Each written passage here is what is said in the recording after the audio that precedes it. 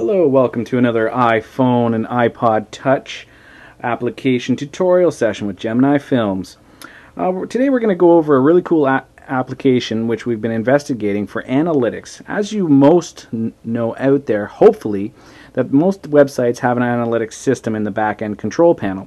But there's already this really cool one that exists out there, Google Analytics. And it's one of the big boys programs that they give away for free to tie in your website so you can track where your clients are coming from, your customers, um, what keywords you're getting traffic on, uh, where they're coming from, uh, setting up goals for um, your website so that you can and tracking them to see if the pages are working. And this program, uh, Google Analytics, is now got a tie-in program for the iPhone and iPod Touch. Let's take a look at it. Up in the top left or right here, oops, um, up in the top right here, there's a program, Analytics. You click it to initialize, starts up, it connects to your account. Now what I've done already is I've went into the settings and set up my personal account, so my Gmail account along with my uh, password, and I've got most of my clients here, or just a, a couple of them that actually I, I work for them for SEO. And I've created a separate account for one of my clients at Lake Francis Cottages down here for so that we can get our AdWords account going and we can start tracking to see um, what's going on with their traffic so that we can optimize our pages. So let's take a look here. What does it have? It has today's traffic results, a dashboard for the overview of your dashboard that you um, have interesting. Let's uh, zoom in here a bit more. Um, it's got your vis your visitors, uh, where they're coming from, um, and how many, traffic, content-based results, an e-commerce area. It's got event tracking and goals, which if you're familiar with that, will, will um, uh, is based on conversion and setting up pages to track to see if they're working or not. Whole bunch visitor loyalty, depth of visit, languages and browsers. It gets into traffic reports, um, campaigns if you set those up. This areas, these areas I like top content, content by title, and landing pages. Um, again, they've got more e-commerce based reports that you can have automatically sent to you um, on a you know um, time basis that you can set up in the back end of Google Analytics. Um, so let's go into one of these areas and show you what's going on here. So if we go into today, TikTok takes a few seconds. It's just um, connect through the internet.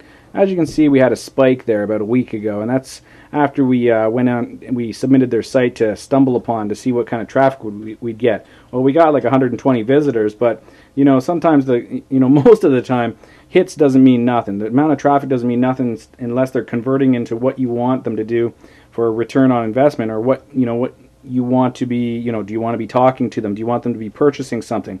If they're just there and they're coming to your site and bouncing well we don't really care about those because it's not really targeted. So it can show you a daily you know just today they've had nine visits um, unique visitors nine. So they were all different. How many page views?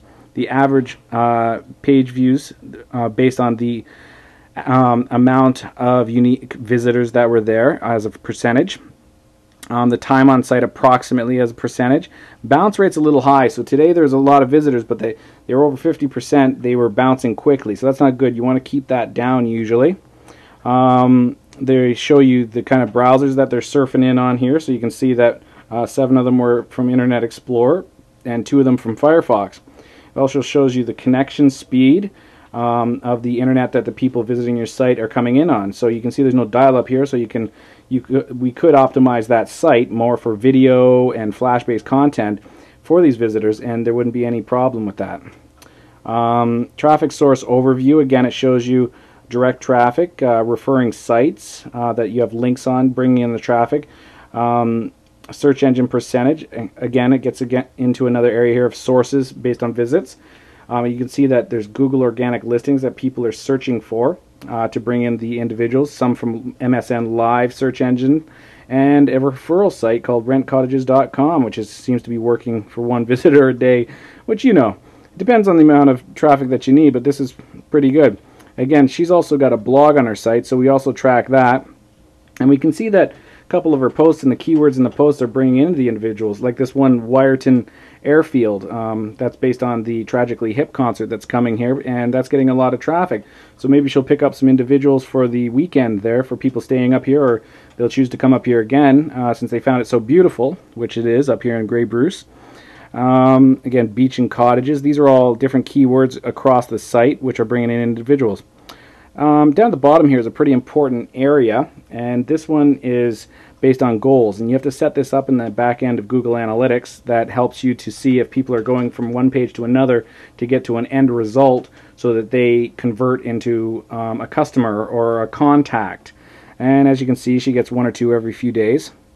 Um, this th- goes a little deeper and it shows you, you know, where they're coming in from uh, across the world. So you can see that we've had eight from Canada today and one from France. Hey, France, maybe they want to come over here for a vacation from Europe. Um, page views again. It gets into unique.